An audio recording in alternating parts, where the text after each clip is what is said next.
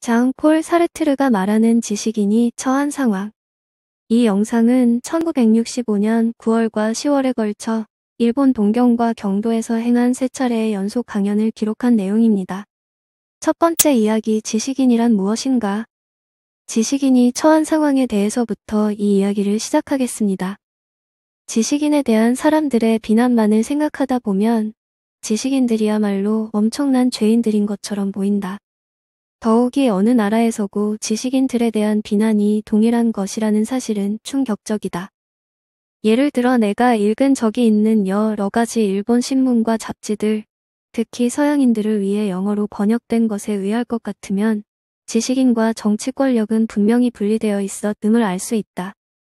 그러다가 2차 세계대전 이후 특히 1945년에서 1950년에 걸치는 기간에 지식인들이 정권을 장악한 뒤에는 많은 해악을 끼쳤다고 한다. 같은 시기에 프랑스 신 문을 보면 프랑스에서도 역시 지식인들이 정권을 잡고 통치를 하면서 여러 가지 재앙을 불러일으킨 것처럼 보인다.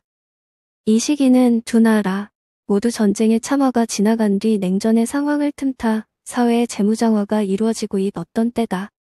지식인들은 이러한 변화에 대해 전혀 무감각했던 것 같다. 프랑스에서와 마찬가지로 일본에서도 지식인들은 동일한 이유 때문에 비난을 받고 있는데 이 비난의 이유라는 것들이 매우 난폭할 뿐만 아니라 그 자체가 상호 모순되는 것들이다. 사람들은 지식인의 본분이란 문화를 보존하고 전수하는 것이며 따라서 본질적으로 관리인 정도에 지나지 않는데도 자기의 직분과 역할을 오해한 나머지 비판적이고 부정적인 태도를 지니게 되었으며 또한 끊임없이 권력과 충돌하면서 자기 나라 역사의 부정적인 면만을 보았다고 이야기한다. 결국 그들은 만사 아웃을 잘못 판단했는데 이것이 대수로운 문제는 아니지만 중요한 시기에 처할 적마다 그들이 민중을 오도한 것이 문제라는 것이다. 민중을 오도한다고 이것은 말하자면 민중이 스스로의 이익의 등을 돌리도록 한다는 뜻이다. 그렇다면 한 나라 안에서 지식인들도 그 나라의 정부와 마찬가지로 일정한 권력을 행사할 수 있다는 것일까? 그렇지는 않다. 사람들은 지식인의 행위와 직능의 테두리가 문화적 보수주의라고 생각하며 지식인들이 이 테두리를 넘어섰다고 생각되기만 하면 즉시 쓸데없는 헛수고를 한다고 비난하는데 사실 이 비난은 옳은 것이다. 생각해보라. 지식인들의 말에 누가 귀를 기울여 줄 것인가? 더욱이 그들은 본질적으로 무력한 존재들이다.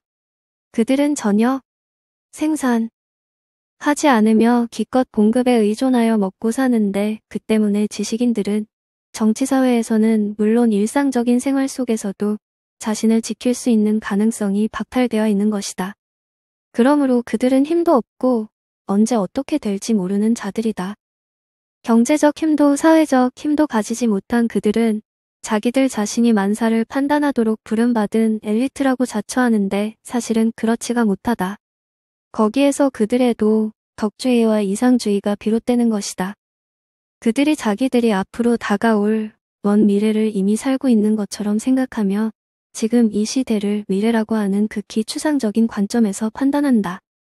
거기에 또 지식인의 독단주의가 문제라면 문제다. 그들은 사람들이 해야 할 일이 무엇인가를 결정할 때 신성불가침의 절대적 원칙, 그러나 매우 추상적인 원칙을 들먹거린다는 것이다. 이 원칙이란 물론 막시즘을 의미한다. 이렇게 되면 사람들의 비난은 다시 한번 모순에 빠지게 된다. 왜냐하면 막시즘은 기본적으로 도덕주의와 대치되는 것이기 때문이다. 그런데 사람들은 지식인들 자체에 이 모순이 존재한다고 여기기 때문에 별달리 거북스럽게 여기지는 않는다. 어쨌든 사람들은 정치인들의 현실주의를 지, 식인들에게 보여주려 할 것이다. 지식인들이 자기들의 기능 자기들의 존재의 이유를 져버리고 끝없이 부정하려는 정신, 과 자신을 동일시하고 있는 동안 일본에서건 그 랑스에서건 정치인들은 전쟁으로 폐허가 된 국가를 조용히 재건함으로써 분별 있는 경험주의 즉 서구 세계의 전통과 어떤 경우에는 서구 세계의 새로운 경험 또한 이론과 정확히 연결된 경험주의를 증거해 주었다는 사실을 말이다. 이런 관점에서 지식인을 비판하는 태도는 일본보다도 유럽의 경우가 훨씬 가혹하다. 일본에서는 지식인을 일종의 필요와 으로 간주하고 있다. 문화를 보존하고 전수하며 풍성하게 하기 위해서는 지식인들이 필요하며 어떤 지식인들은 항상 위험인물로 남아있겠지만 그들의 경우에는 그들이 가지고 있는 영향력을 배제하기만 하면 충분하다는 태도다. 반면 프랑스에서는 지식인들의 몰락이 이야기되고 있다. 미국식 사고에 영향을 받은 프랑스 사람들은 모든 것을 아는 채 하는 이들 지식인들이 사라지게 될 것이라고 예언하고 있는 것이다. 과학의 진보는 결국 이 보편주의자들을 극도로 전문화된 여러 집단의 연구자들로 대치하게 될 것이라고 한다. 그 자체의 모순점들에도 불구하고 이 모든 비판들에 공통적으로 존재하는 어떤 의미를 찾아내는 일이 가능할 것인가? 가능하다. 그것은 이 모든 비판 속에는 공통적으로 한 가지 근본적인 비난이 깃들어 있다는 사실이다. 그 비난이란 지식인이란 자기와 관계없는 일에 참견하려 드는 작자. 이며 사람들이 옳다고 받아들인 진리와 그 진리를 바탕으로 이루어진 행위 전체를 인간과 사회라고 하는 보편적 개념 그러니까 사회가 발전돼 나가고 그에 따라 생활 양식과 사회적 기능 및 구체적인 문제점들의 고도한 다양화가 그 특징이 되어가고 있는 오늘날에 있어서는 사실상 불가능하고 때문에 추상적이고 그릇된 개념인데도 불구하고 그 개념을 내세워 부정하려 드는 자들이라고 하는 것이다. 그런데 지식인이 자기와 무관한 일에 끼어들려고 하는 작자라는 것은 옳은 이야기다. 사실 프랑스에서는 드레피스 드레피스 사건이 일어났을 당시 지식인 아무아무개라고 하는 말이 그 부정적 의미와 함께 유행하기조차 했었다. 반드레피스 파의 입장에서 볼 때 드레피스 대위가 무죄 석방되느냐 유죄 판결을 받느냐 하는 문제는 군사법정이 관여할 따라서 결국 국가 이 관여할 문제였다. 그런데 드레피스 옹호자들은 피의자의 결백을 확신한 나머지 자기들의 권한 바깥에까지 손을 뻗은 것이다. 그러므로 본래 지식인들 전체는 지적 능력과 관계되는 일 정밀과학 응용과 학의학 문학 등을 통해 어느 정도의 명성을 얻고 이 명성을 남용하여 자기들의 영역을 벗어나 인간이라고 하는 보편적이고 독단적인 개념 그러니까 그것이 막연하건 명확하건 도덕주의적이건 막스주의적이건 간에 그런 개념을 내세워 사회와 기존 권력을 비판하려 드는 여러 종류의 사람들을 의미하는 것 같다. 지식인에 대한 이러한 공통된 개념의 보기를 하나 들어볼까 한다. 만약 어떤 학자들이 핵전쟁용의 완벽한 군사무기를 만들기 위해 핵분열에 관한 연구를 하고 있을 경우 사람들은 그들을 지식인 이라고 부르지는 않을 것이다. 그들은 그저 학자일 뿐이다.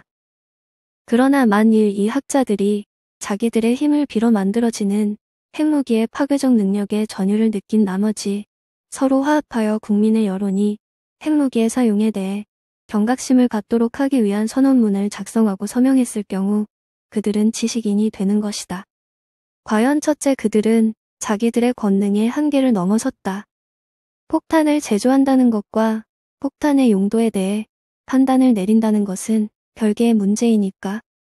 둘째 그들은 사람들이 인정해준 자기들의 명성과 권능을 남용하여 여론의 압력을 가했다.